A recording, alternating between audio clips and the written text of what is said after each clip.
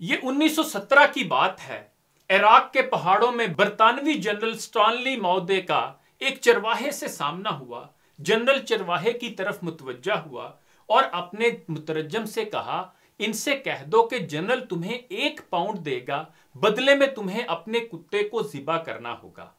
कुत्ता चरवाहे के लिए बड़ा अहम होता है। ये उसकी बकरियाँ चराता है, दूर गए रेवड़ को वापस लाता है, दरिंदों के हमलों से रेवड़ की हिफाजत करता है, लेकिन पाउंड की मालियत तो आधे रेवड़ से भी ज़्यादा बनती है। चरवाहे ने यह सोचा तो उसके चेहरे पर लालची मुस्कुराहट फैल गई। उसने कुत्ता पकड़ा और जनरल के कदमों में जिबा कर दिया। जनरल ने चरवाहे से कहा, अगर तुम इसकी खाल भी उतार दो, मैं तुम्हें एक और पाउंड देने को तैयार हूँ। चरवाहे ने खुशी खुशी कुत्ते की खाल भी उतार दी। जनरल ने कहा, मैं मजीद एक और पाउंड देने के लिए तैयार हूँ। अगर तुम इसकी बोटियाँ भी बना दो। चरवाहे ने फौरी तौर पर यह ऑफ़र भी कबूल कर ली।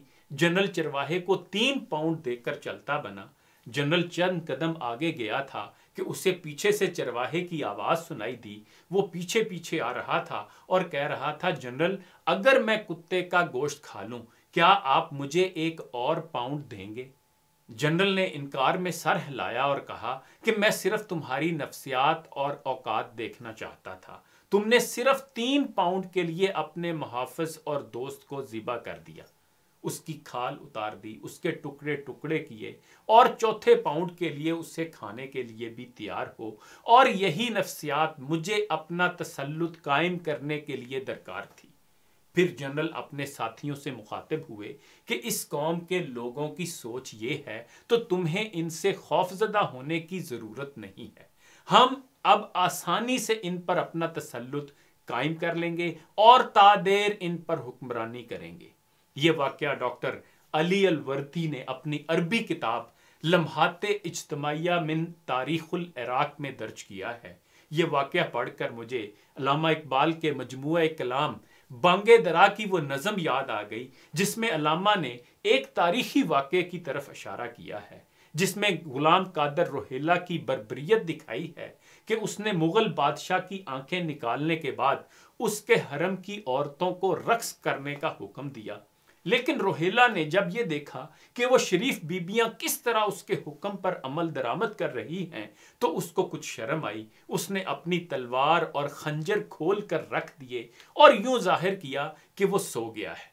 लेकिन कुछ देर बाद उठा और उन औरतों से कहा कि सोने का तो बहाना था। मैंने तुम्हें मौका दिया था कि मेरे खंजर से ही मेरा खात्मा कर दो। लेकिन अफसोस, खानदान तैमूर से गैरत ख़त्म हो चुकी है। इकबाल नज़म का अख्ताम इस शेर पर करते हैं, मगर ये राज आखिर खुल गया सारे ज़माने पर। हमीयत नाम है जिसका गई तैमूर के घर से। अब इराक वाले वाक़े और इकबाल की इस नज़म का पाकिस्तानियों से क्या ताल्लुक बनता है, ये आप खुद सोच लें। एटम बम जेब में और दुनिया में हम भीख मांगते फिर रहे हैं।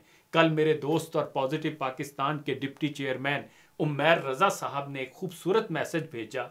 उन्होंने लिखा था we are not a poor country we are poorly governed country यानी हम गरीब मुल्क नहीं हैं।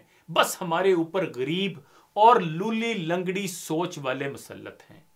हमारी अशराफिया खुद सेवन स्टार जिंदगियाँ जी रही है और अवाम बुनियादी ज़रूरियात के लिए बिलक रहे हैं।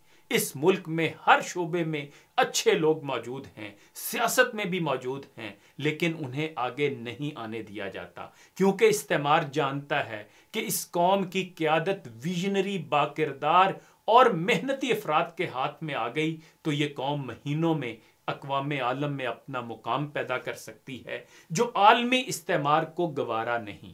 लेकिन कौम के हर फर्द के लिए मेरा पैगाम यही है कि उठ बाँध कमर क्या डरता है, फिर देख खुदा क्या करता है। इन्हीं गुजारशात के साथ इजाज़त चाहूँगा। अपना ख्याल रखिएगा। अल्लाह हाफिज। हमारी तंजीम पॉजिटिव पाकिस्तान, दुबई की एक मायानास कंपनी आईटी एम्पायर के इश्तराक से नौजवानों को रोज़गार कमाने की तरबियत देने के एक प्रोजेक्ट का आगाज़ कर रही है। जिसके तहत नौजवानों को IT freelancing soft skills CV लिखने इंटरव्यू की तैयारी, कारोबार के असूल सिखाने के साथ साथ उनकी सीरत और किरदार साजी पर भी काम किया जाएगा, ताकि वो एक बाकिरदार और जिम्मेदार शहरी बनकर बाइज्जत रोज़गार कमाने के काबिल हो सकें।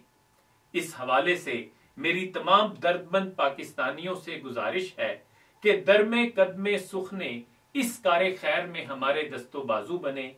रबते के लिए नंबर इस वीडियो पर दिया गया है। शिकवाए जुल्मते शब से तो कहीं बेहतर था। अपने हिस्से की कोई शम्मा जलाते जाते।